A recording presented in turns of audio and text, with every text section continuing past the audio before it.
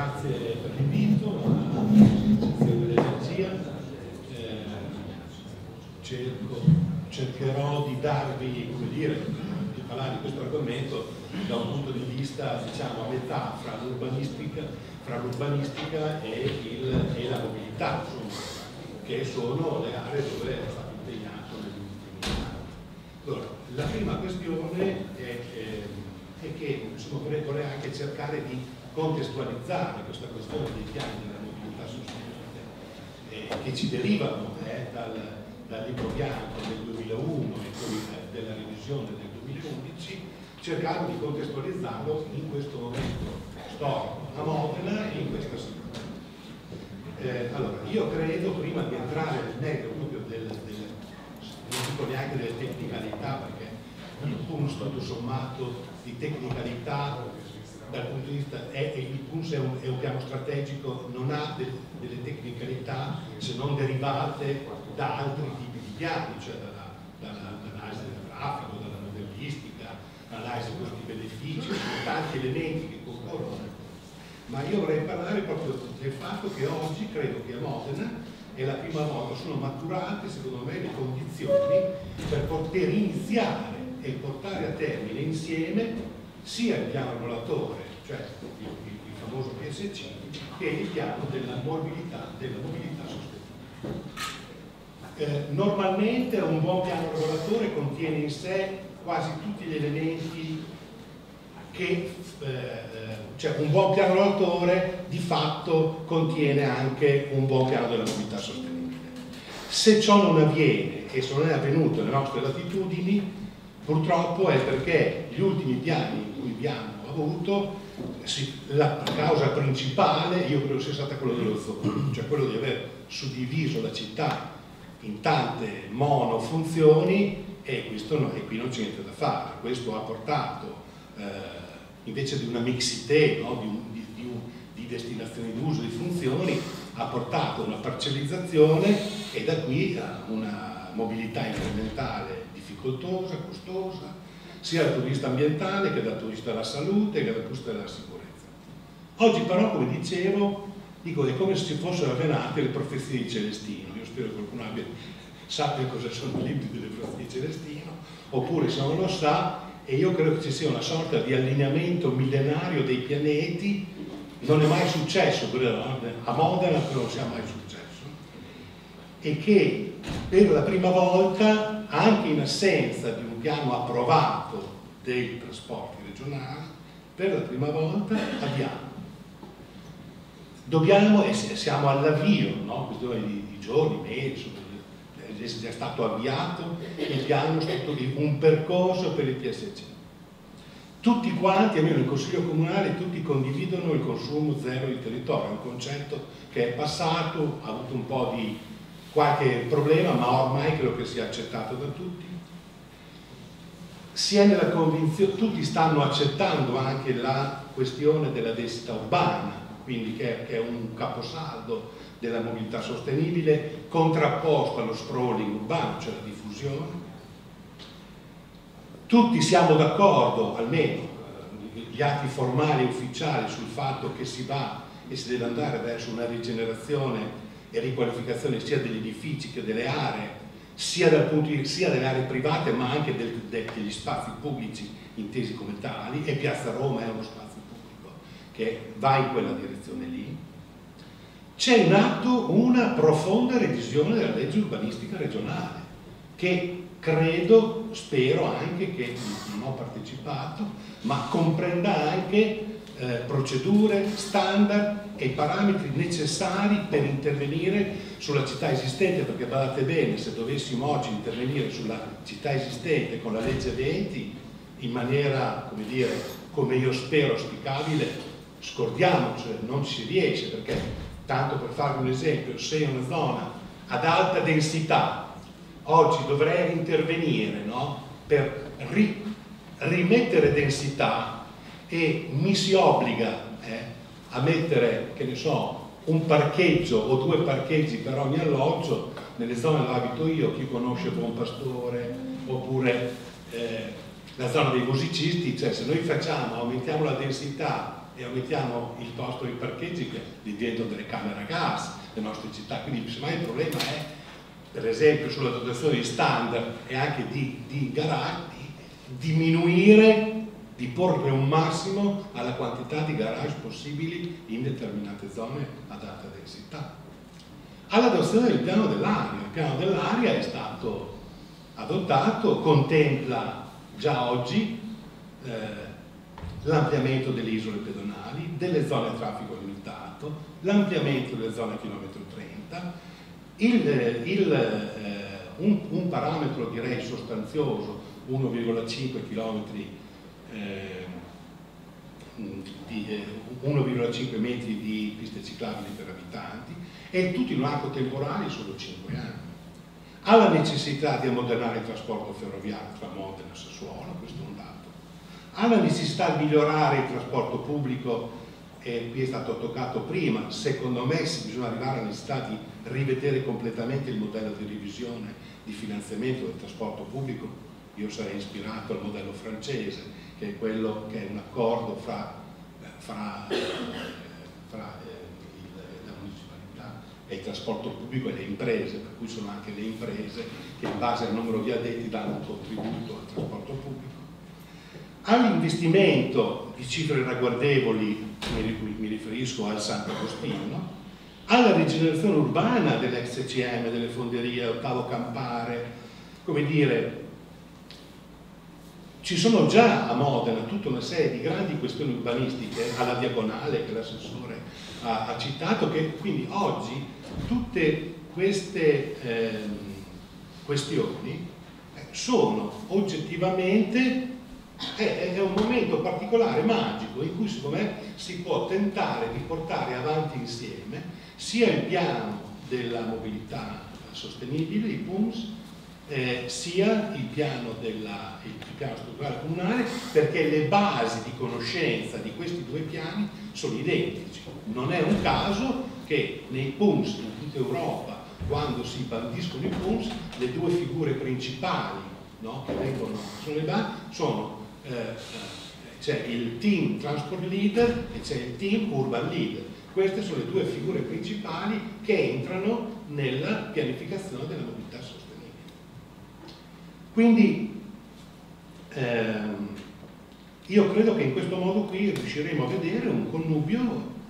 tra urbanistica sostenibile e mobilità nuova in cui sia possibile prevedere finalmente urbanità e mobilità, eh, spazio pubblico meno dedicato al parcheggio delle auto, marciapiedi più larghi, strade più belle, vivibili ed accoglienti, ciclabili dove necessario anche dedicate, corsie preferenziali per, per autobus, piccole aree di ristoro e host, servizi del commercio, eccetera, eccetera, perché il punto di partenza è poi che in realtà le direttive comunitarie ci dicono che entro il 2030 si dovrebbe dimezzare la quota di trasporto privato nelle aree. Dunque noi a Modena siamo circa più o meno 900 automobili ogni 1000 abitanti. Se dobbiamo dimezzarle dobbiamo arrivare a 400-450. Quasi tutte le città d'Europa, quelle che, hanno iniziato già a fare i piani della mobilità sostenibile e il, i loro piani regolatori hanno quasi tutte deciso che la soglia massima di,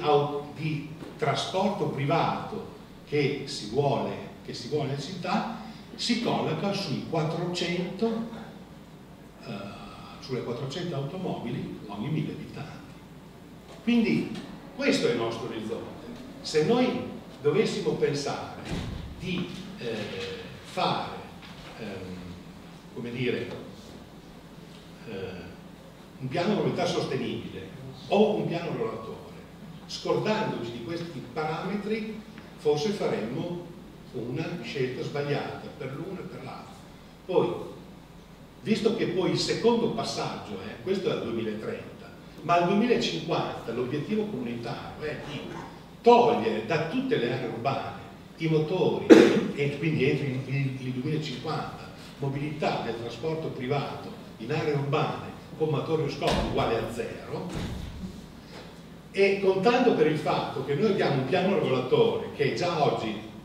ha già fatti 30 anni il nuovo piano che faremo, anche se potrà avere una durata formale di 10 anni, 15 anni in realtà durerà altri 30, quindi noi siamo oggi nella condizione meravigliosa, dico io, perché si possa mettere insieme un bel team, un bel dream team formato da urbanisti esperti di mobilità, ma non solo tecnici, perché uno degli elementi fondamentali dei PULS, e allora qui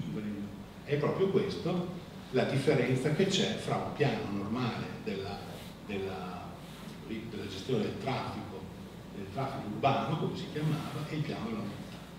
Mentre prima il piano generale del traffico si fondava sul il focus era sul traffico, finalmente il piano della mobilità sono sulle persone e questo fa la differenza, io credo, fondamentale.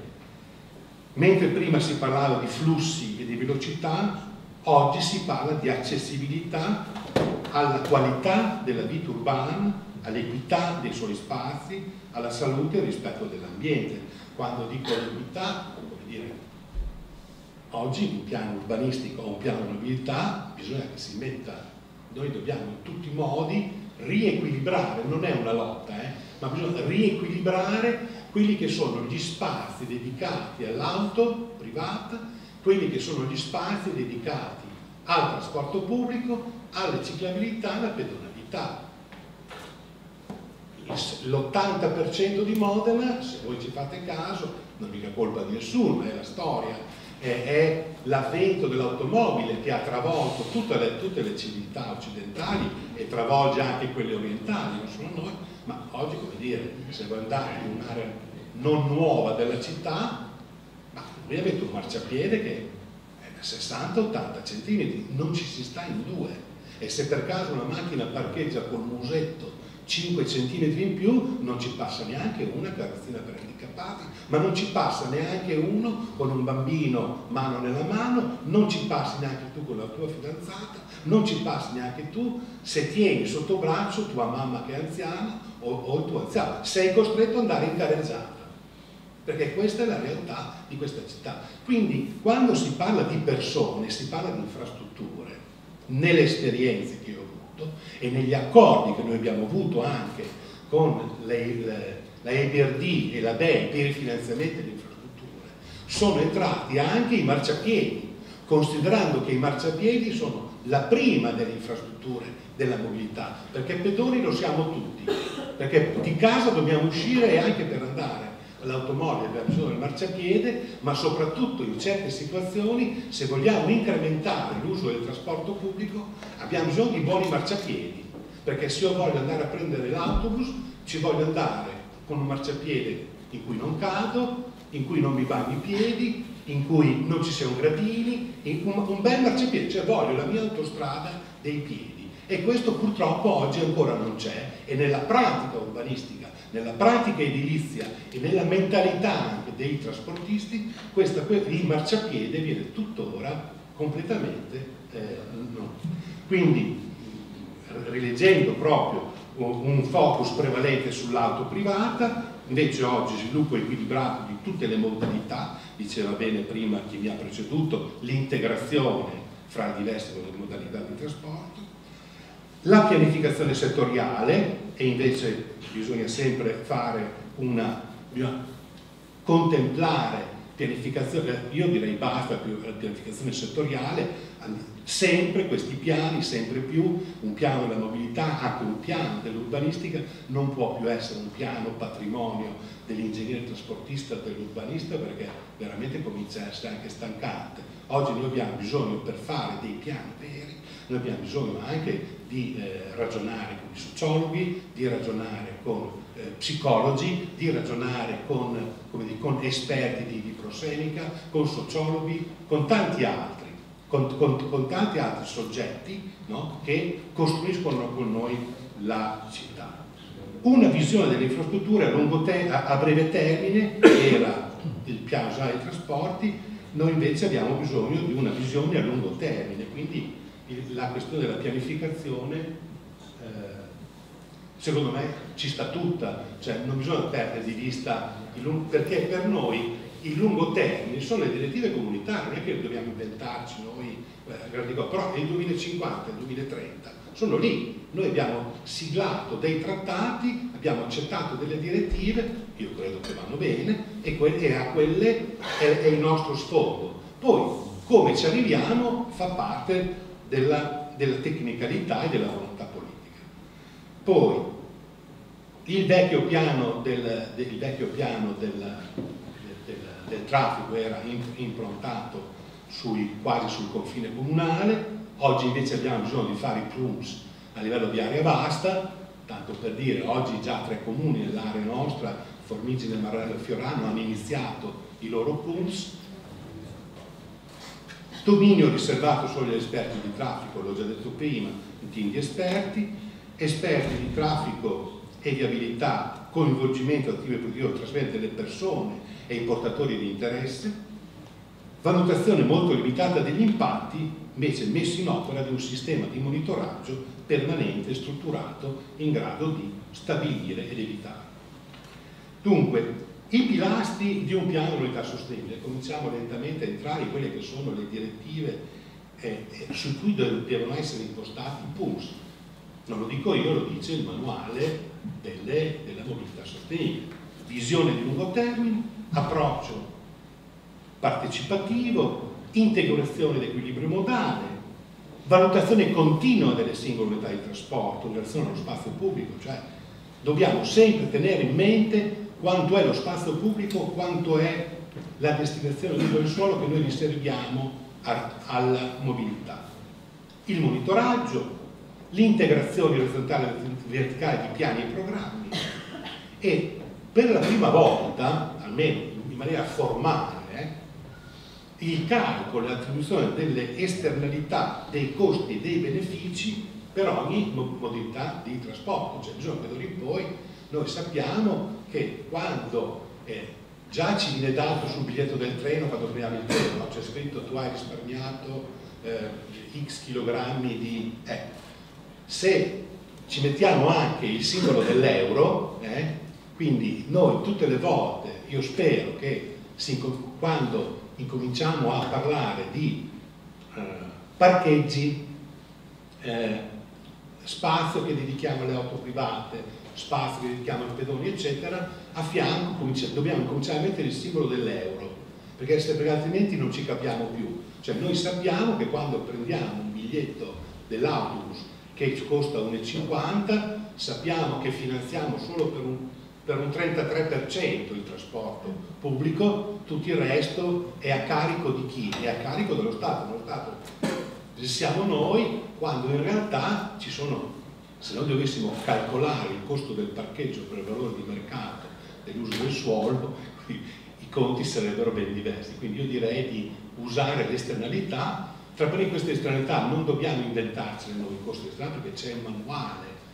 che c'è il manuale comunità europea che ti dice esattamente ed è aggiornato anno per anno quanto costa un'esternalità, quanto costa il chilometro passeggero in auto, chilometro passeggero in auto, chilometro passeggero bici, anzi l'ultimo dato che il chilometro passeggero in bici guadagna 20 centesimi a chilometro, quindi in realtà chi va in bici dovrebbe avere 20 centesimi che è quello che hanno iniziato a fare in alcuni eh, comuni Bene, eh, eh, quindi, sì, ecco, Parigi, Malmo, questi sono gli esempi, Parigi, Malmo, Göteborg, sono dati obiettivi misurabili, si sono dati un, una soglia massima di 400 auto ogni 1000 abitanti e hanno deciso che al 2030 eh, il 15% della loro ciclabilità, de, la, la, la, i vari modal speed, il 15% sulla ciclabilità, 30% al trasporto pubblico, 25% al, a, a, 20, 20, eh, al, trasporto privato e il resto entro il, eh, a questo 2030. Al 2050 il divieto assoluto. Quindi noi oggi a Modena quanto perdiamo? I dati a noi a Modena non abbiamo dei dati precisi, purtroppo. E questo è anche un, un, un elemento che io consiglio di iniziare insieme, il piano della mobilità e il piano regolatore. Oggi più o meno siamo a circa 9-10% della ciclabilità a Modena, ha circa il 10% della mobilità eh, sul, sul, trasporto pubblico, come vedete se al 2030 dobbiamo arrivare, dove dovessimo rapportarci a, e 900 abitanti ogni 1000, 900 auto ogni 1000 abitanti, voi capite che il percorso è abbastanza, dovremmo muoverci abbastanza in fretta. E se ci muoviamo in fretta io credo che potremmo anche richiedere sostanziosi eh, co-investimenti anche alla comunità europea se ci ponessimo degli obiettivi ambiziosi come sempre poi questa città si è posta, eh, non è che non siamo poi, la città si è sempre posti obiettivi ambiziosi, credo che valga la pena continuare a porseli. Perché ricordatevi che solo il piano dell'aria, che prevede entro quattro anni di fatto, perché ancora se non sbaglio non è stato definitivamente approvato, prevede di arrivare al raddoppio delle isole pedonali, al raddoppio della ZTL e, e, e prevede di arrivare a 1,5 metri per, per abitante, sono obiettivi ambiziosi, ma dobbiamo rispettarli. Quindi, eh, intendiamo allora questa cosa qui, che il, il PUMS, così come il PSC, poi dopo altri sono gli, gli strumenti, diciamo così, attuativi, no? il piano urbanistico, il piano, il piano operativo comunale, le norme edilizie urbanistiche. Ma il PSC e il in quanto tale sono piani di processo, dobbiamo intenderli addirittura nel paese dove ho fatto i PUMS, ma forse anche in Italia qualche problema ci sarà chi li approva i PUMS, perché dal punto di vista giuridico non è ancora stato stabilito bene chi è la competenza dei PUMS. Comunque, ne, ne, eh, sono piani di processo, cioè è un nuovo modo, di, è un modo più partecipativo di mettersi in un grande, in un grande di ritornare alla programmazione e alla pianificazione con la differenza che stavolta invece di farla solo fra esperti e autorità pubbliche bisogna farla fra esperti e portatori di interessi i più vari possibili perché la città è di tutti, non è solo degli automobilisti o del, o del, trasporto pubblico, ma è anche dei commercianti, è anche degli anziani, dei pensionati, insomma di chiunque usa la città anche a piedi. Anche chi va a piedi dovrebbe essere rappresentato sia per la parte urbanistica che per la parte diciamo, eh, della mobilità. Quindi, ehm, se lo intendiamo come piano di processo, allora il primo passo, e qui entriamo nel, in quel minimo di tecnicalità che le, le linee guida della comunità europea sul, sul PUNS ci danno, il primo passo è la messa a punto degli obiettivi. Sarà, una banalità, ma mettere a punto gli obiettivi come primo punto non è male. Noi potremmo anche decidere che al 2030 vorremmo avere, non dico mica 400, eh, 450 eh, veicoli privati ogni mille abitanti. Se ci ponessimo quell'obiettivo lì, è evidente che tutto quello che ne consegue sul piano del trasporto pubblico, ciclabilità, pedonalità e, no, e piano urbano, ne è una conseguenza. Dovremmo avere una coerenza tra obiettivi e quello che e, e, azioni conseguenti e investimenti conseguenti, perché tutto sommato poi oggi tutto si gioca, l'ho detto prima, forse l'ho evitato, ma su tre grandi questioni. Connettività, connettività vuol dire mobilità sia delle persone ma anche delle informazioni, eh? quindi la connettività è un dato fondamentale nella pianificazione urbana, nella pianificazione della mobilità, il secondo dato è la densità, non ci voglio ritornare sopra, però è fondamentale che sappiamo che se andiamo avanti verso una città più densa e utilizziamo gli stessi criteri della mobilità di oggi, cioè non ci poniamo di ridurre drasticamente la mobilità delle automobili, noi creiamo delle, sia una città più densa, però creiamo una città a camera gas. Quindi bisogna che noi definiamo bene eh, qual è il parametro, è l'obiettivo poi possiamo anche dire che si raggiunge al 2030, ci arriveremo al 2035, però un obiettivo sì. Secondo passaggio, una definizione articolata di modalità di svolgimento del processo di costruzione, quindi questo non è niente di nuovo. Il terzo punto è cominciare a fare degli scenari. Normalmente si usano, se non facciamo nulla, il business as usual, no? se invece continuiamo a fare come abbiamo fatto fino ad oggi, e invece incominciare a discutere, ma insieme, perché questo è l'esercizio difficile, discutere insieme, contestualmente, piano urbano, piano della mobilità, cioè, e quindi vuol dire coinvolgere tutta la città su, su quali sono le, alti, le alternative qualitative dell'urbanità che ci provvigiamo, che ricordiamoci che il piano, io adesso mi, io mi riferisco solo alla mobilità urbana, eh, non entro nella, nei trasporti in questo momento, anche se il PUNS entra nella logistica, entra,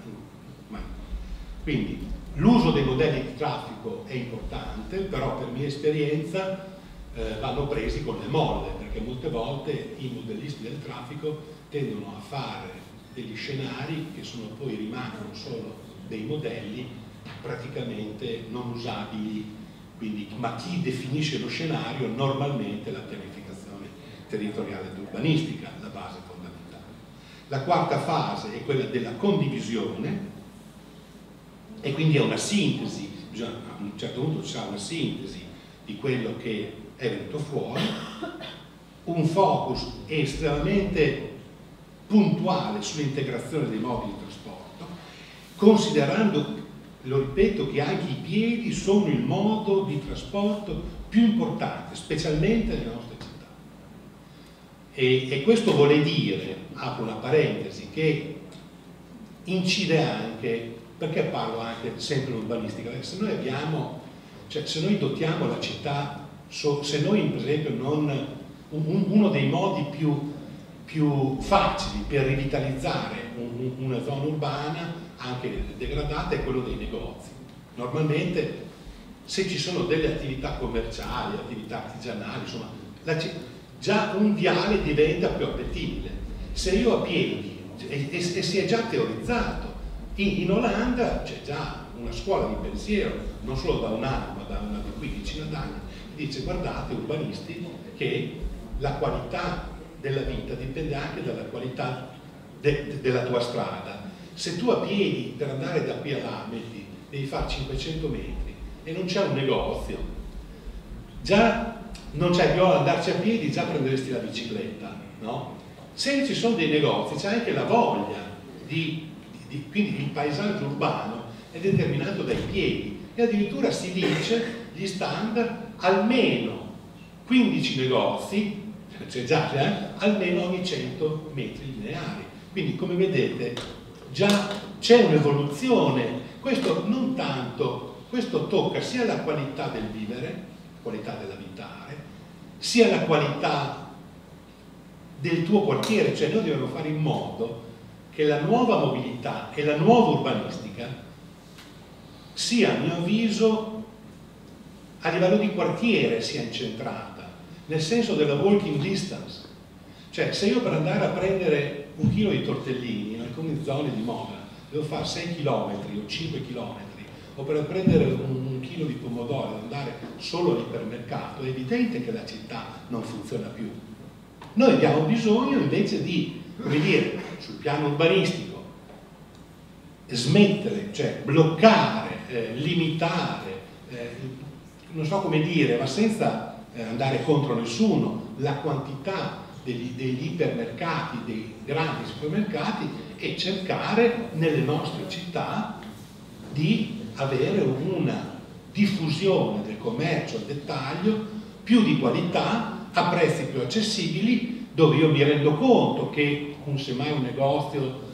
vende il pomodoro a 20 centesimi in più e, e un'altra struttura a 30 centesimi in meno ma è anche vero che oggi, se vogliamo, se no sono parole vuote, se vogliamo approfittare dell'ICT, cioè eh, Intelligent Communication Technology, è sulla logistica che si gioca la qualità dei prezzi nell'ambito della distribuzione commerciale. Quindi anche quello è un tema che fa parte della mobilità. Il sesto passaggio è sul quale eh, bisogna, mettersi, bisogna, bisogna eh, focalizzare un punto va riferito, la salute, prima di tutto, la congestione, la sicurezza e la protezione delle persone, partecipazione, pianificazione strategica e il cambiamento eh, climatico. Sono tutte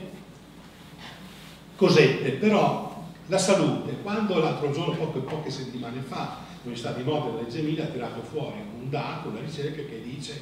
che loro hanno fatto un'analisi per cui in alcune aree ad alta densità c'è un, un, quasi un raddoppio delle leucemie e dei tumori, poi un motivo ci sarà. E, e loro non l'hanno neanche spiegato, detto guarda, non sappiamo qual è, quindi hanno avvertito, attenzione, abbiamo rilevato questo dato, però dobbiamo ancora studiare.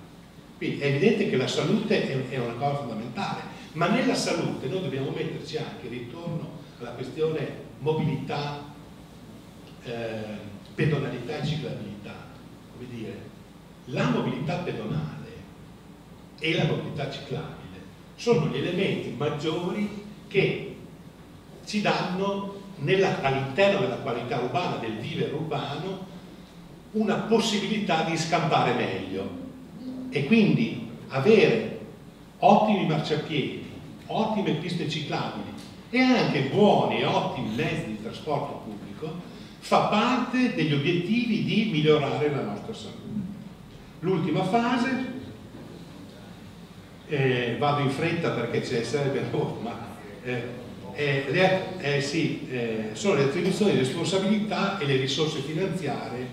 eh, per un cominciante piano d'azione. Allora, prima di tutto direi che l'analisi multicriteria, tutti, credo che quasi tutti sappiate cos'è, ecco, è, e l'analisi costi-benefici sono i due strumenti che dovremmo sempre continuare ad adottare, dovrebbe essere una sorta di eh, esercizio sul quale dovremmo imparare tutti, specialmente sulla multicriteria dove, come dire, do, dobbiamo darci i criteri eh, più importanti per andare avanti eh, chiarire da subito e fare grandi battaglie anche per eh, le fonti finanziarie. Io prima ho visto il, le, le, gli obiettivi che prima eh, le slide della, della dottoressa Diazzi, della produttiva, eh, mi sarebbe piaciuto chiedere qualcosa di qualche soldino di, quel, di, di quei fondi lì sulla mobilità sostenibile, forse potremmo fare qualche battaglia, forse si può ancora fare, perché vorrei essere sicuro che i marciapiedi possono essere finanziabili così come una eh, tangenziale o un'altra infrastruttura eh, stradale. Poi la revisione dei costi per il parcheggio, biglietti e abbonamento trasporto pubblico, ci sono tutti. Poi l'ottava fase, adozione formale, uno specifico piano programma, comunicare e diffondere i risultati, credo che questo sia, sia una cosa fondamentale. Normalmente, purtroppo, nonostante tutto, che viviamo in stato di informazione, però ancora poco spendiamo, eh, spendiamo, sulla comunicazione. Pensate solo che, per farvi un esempio, che il comune di Vienna, sarà un comune anche ricco, hanno fatto un piano della ciclabilità, non so dire quanto sia costato, credo alcuni milioni di euro, ne hanno spesi più di uno solo per comunicare il piano della ciclabilità. Comunicare ovviamente intesa non nel senso di solo ottenere consenso, solo un'operazione di immagine, no, comunicare il più possibile il piano della ciclabilità perché questo fosse effettivo e perché più gente, più persone possano approfittare di investimenti che poi sono abbastanza rilevanti sulla questione della ciclabilità. Quindi la comunicazione credo sia un dato fondamentale. Poi c'è la nona fase, è il percorso, diciamo, più il percorso è stato condiviso, in realtà eh, l'adozione dovrebbe essere quantomeno abbastanza semplice. Decima fase, gestione e esecuzione, ecco qui forse noi eh, non abbiamo, forse bisogna pensare a qualcosa, perché eh, in, dove ho lavorato si stava pensando di, eh, a, a, dire, nell'identificare le strategie di attuazione, no? e di comunicazione, eccetera, eh, si è pensato anche di chi deve gestire il PUMS, cioè lo deve gestire chi l'ha fatto, eh, lo deve gestire solo la parte pubblica, lo deve gestire solo... cioè bisogna trovare un sistema, un dream team no? di persone che nel, nel, medio periodo, poi può anche essere cambiato, no? sia in grado in maniera quasi indipendente, perché mi rendo conto delle... ma di gestire un piano della mobilità eh,